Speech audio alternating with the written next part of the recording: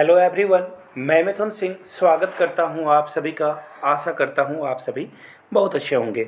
Army public school के current affairs को हम लोग जारी रखेंगे और जितनी भी हो सके क्लासेस छः महीने का करंट अफेयर्स आपको कंप्लीट कराया जाएगा। तो चलिए वेरी फ़र्स्ट क्वेश्चन की ओर हम लोग बढ़ते हैं। Recently which of the following wins Alexander Zverev देखिए इनका नाम है अलेक्जेंडर को हराकर मैड्रिड ओपन का जो टाइटल है, वो किसने अपने नाम किया आपको बताना है।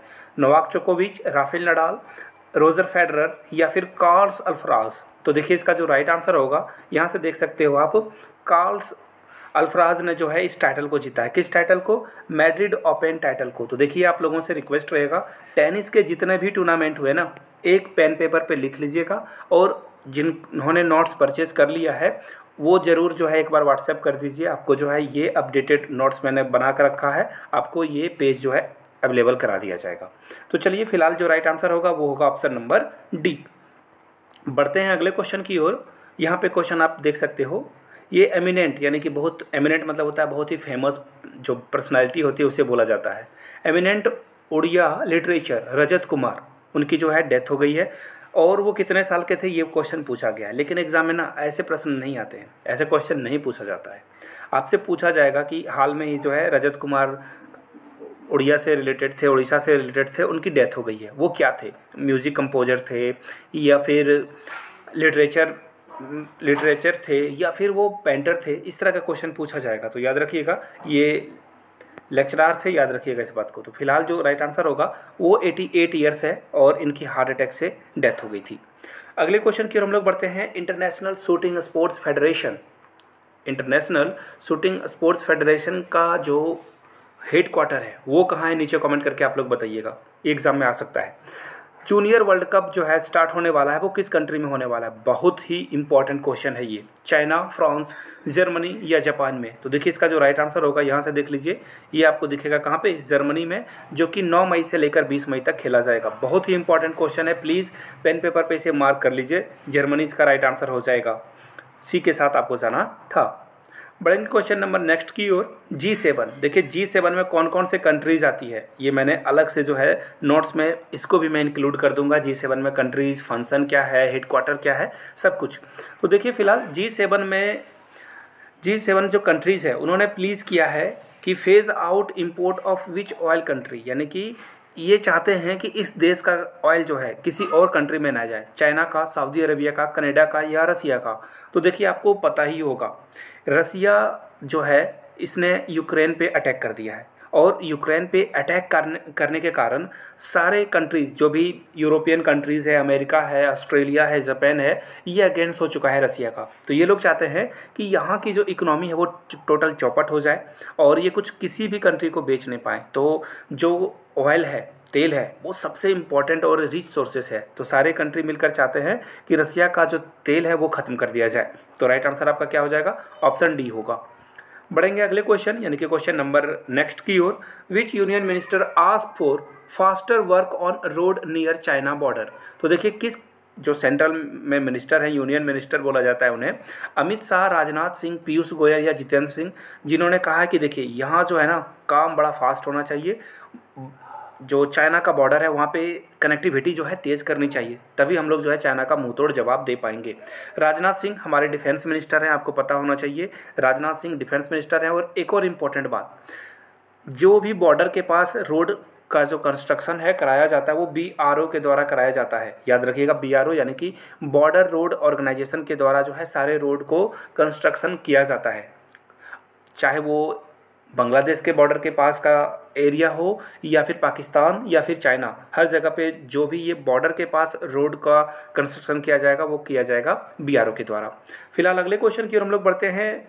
विक्ट्री डे परेड यानी कि विजय दिवस परेड किस देश में होगी आपको बताना है। चाइना में, रसिया में, स्पेन में या अमेरिका में? तो देखिए इसका जो राइट आंसर है, ये रसिया में होगा।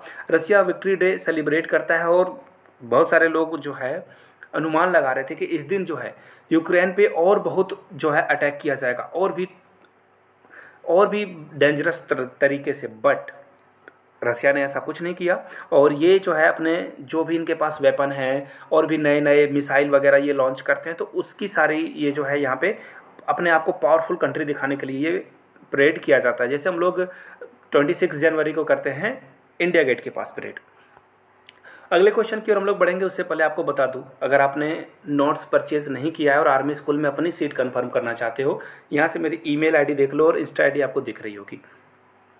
सिर्फ़ छः सौ निन्यानवे में सिक्स नाइन नाइन में आपको नोट्स परचेज करने का ऑफ़र मिल रहा है, जिसमें आपको प्रीवियस ईयर क्वेश्चन पेपर मिल जाएगा। याद रखिएगा, अगर किन्हीं को सिर्फ़ प्रीवियस ईयर क्वेश्चन पेपर चाहिए तो वो सौ रुपये में क्वेश्चन पेपर ले सकते हैं। ईमेल आईडी और इंस्टा आईडी यहाँ से आप मेरी देख सकते हो।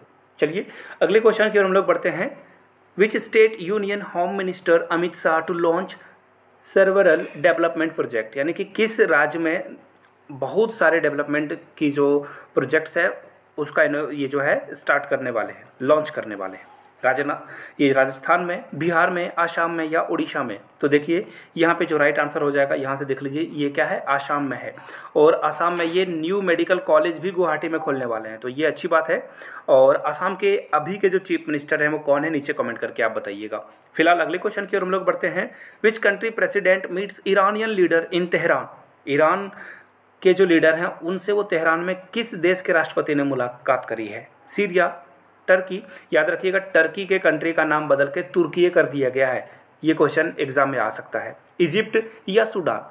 तो देख लीजिए, यहाँ से आप देख सकते हो बसर अल असद जो कि कहाँ गए हैं? ईरान गए हैं। और बसर अद, जो अल असद हैं, ये सीरिया के प्रेसिडेंट हैं और इन्हें जो है, बसर अल असद को रसिया का जो है, नज़दीकी माना जाता है। ये ज़्यादा क्लोज हैं किसके? रसिया के।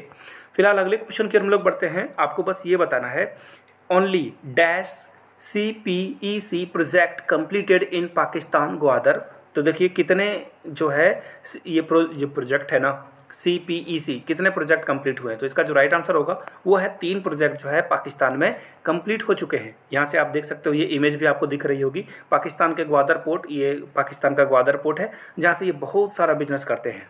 और यहाँ पे इलेक्ट्रिसिटी हो वाटर सप्लाई हो, इन सारे चीज़ों को जो है, अभी काम इस पर बाकी है और दो बिलियन डॉलर का खर्च आएगा यहाँ पे। अगले क्वेश्चन की ओर हम लोग बढ़ते हैं। Which country president Arif Alvi summons national assembly session यानी कि किस देश के राष्ट्रपति हैं आरिफ अलवी जिन्होंने नेशनल असेंबली का जो है सेशन बुलाया है। तो इसका जो राइट आंसर वो क्या होगा? जर्मनी होगा पाकिस्तान होगा ब्रुनई होगा या बोत्सवाना होगा? तो इसका जो राइट आंसर होगा आई थिंक ए ही होना चाहिए बट एक बार फिर से हम लोग चेक कर लेते हैं। जी हाँ यहाँ से आप देख सकते हो। ये जो पाकिस्तान के president Pakistan president Arif Alvi summons देखिए, इन्होंने जो है एक्चुअली पाकिस्तान के हैं। बीस का राइट आंसर होगा। पाकिस्तान के जो राष्ट्रपति हैं, आरिफ अलवी, इन्होंने नेशनल असेंबली का जो है, क्या किया है? सेशन बुलाया है। अगले क्वेश्चन की हम लोग बढ़ेंगे। फाइनली क्वेश्चन है नहीं। The quick points of the day है। प्लीज़ स्क्रीनशॉट लेकर इसे रख लें। एग्ज़ाम में ये बहुत बार आता है।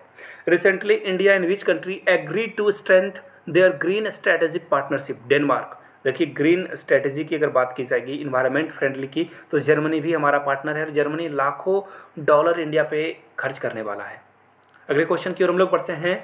Recently which country ask India to stop diamond trade with Russia तो देखिए, हम लोग क्या करते हैं रसिया से हम लोग जो डायमंड हैं, जो अनफिनिश्ड डायमंड हैं, वो खरीदते हैं और उसे पॉलिश करके, देखिए, ये मशीन से नहीं किया जाता है, हाथों से किया जाता है और फिर इसे हम लोग यूएसए, जो सबसे ज़्यादा बड़ा जो है बायर है, हम लोग यूएसए को बेच देते हैं सारे डायमंड्स और बहुत सारा पैसा जो है मिलता है इंडिया को।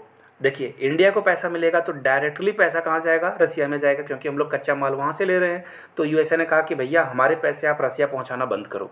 ये रिक्वेस्ट करी है यूएसए ने।